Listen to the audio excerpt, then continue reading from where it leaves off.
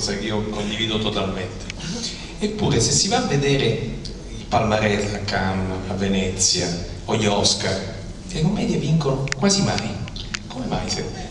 Non vengono, non vengono nemmeno selezionate, non vengono nemmeno invitate. Ma come? Però, ma io, una domanda che mi hanno fatto, io credo che non, il problema non sussiste, non, non c'è, non c'è il problema. Ci sono dei, dei festival che sono dei festival fortunatamente di commedia. Io ultimamente, in quest'ultimo anno, ho viaggiato mezzo mondo per portare alcuni miei film, tra cui il nostro, alle commedie, ho vinto un sacco di premi. E quindi sono, certo sono festival minori di quali si parla di meno, ma è sempre stato così Antonio, non, secondo me è come un libro allo strega eh, bello e un libro leggero, vincerà il libro capito? Sì, più intellettuale, capito? È, è ovvio. Secondo me c'è un equivoco, cioè in molti c'è l'equivoco, in molti confondono la, la, la, la diciamo la, legge, molti confondono la leggerezza con la superficialità.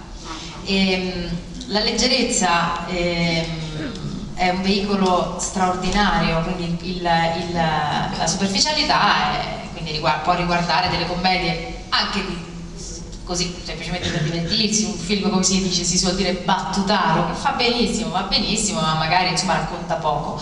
E poi ci sono i grandi maestri del nostro cinema, io prima citavo Mario Monicelli, ma posso citare Scola, Comincini, eh, Gemmi, posso, posso, citare i nostri grandissimi, eh, che attraverso la leggerezza hanno raccontato addirittura, eh, pensa alla Grande Guerra, cioè, hanno raccontato dei eh, temi drammaticissimi e, hanno, e, hanno, fatto sì che le persone li potessero vedere senza calare subito un muro, perché a volte di fronte a certi argomenti si cala un muro.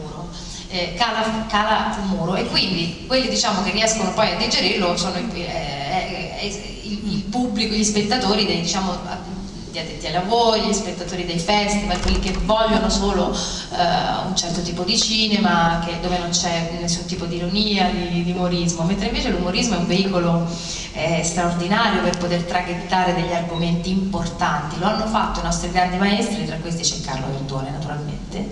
No, è vero, e, è vero quando lui parla di malinconia, i suoi film spesso sono malinconicissimi, parla, parla di, riesce, riesce, a parlare di argomenti incredibili, e, però lo fa, lo fa, con leggerezza, non lo fa con superficialità, è diverso.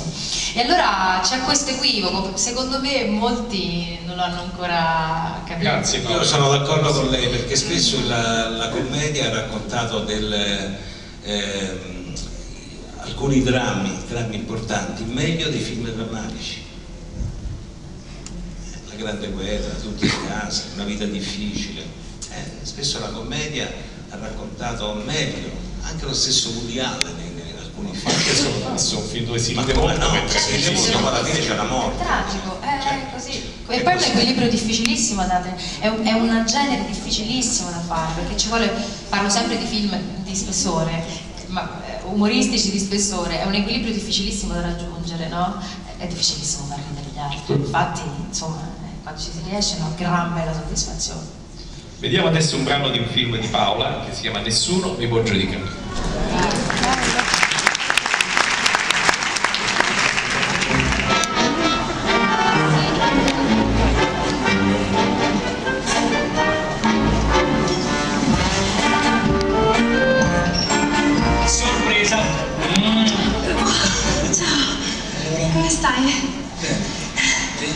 Ah, scusa, scusa. Eh, scusi, eh, vorremmo comprare una tenda canadese. Ah, bravi. No.